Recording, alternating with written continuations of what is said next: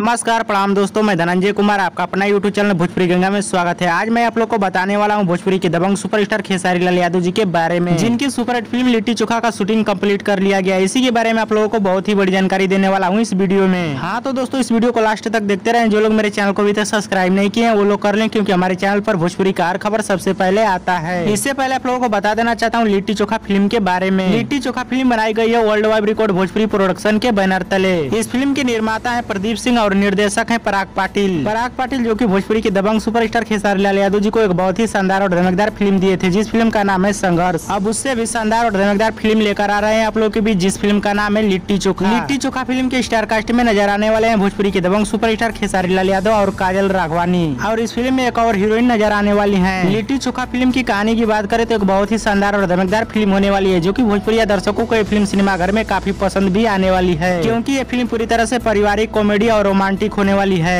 और इस फिल्म के गाने का बात करूँ तो इस फिल्म में बहुत ही अच्छे अच्छे गाने भी होने वाले हैं भोजपुरी के दबंग सुपरस्टार खेसारी लाल यादव जी का हाँ तो दोस्तों आप लोगों के लिए एक बहुत ही बड़ी खुशखबरी आई है की लिट्टी चोखा फिल्म का शूटिंग पूरी तरह से कम्प्लीट कर लिया गया है हाँ तो चलिए दोस्तों आप लोग को बता देना चाहता हूँ लिट्टी चोखा फिल्म का टेलर पोस्टर आप लोगों के बीच कब आएगा मीडिया रिपोर्ट के माध्यम से बताया जा रहा है की लिट्टी चोखा फिल्म के टेलर को और पोस्टर को दो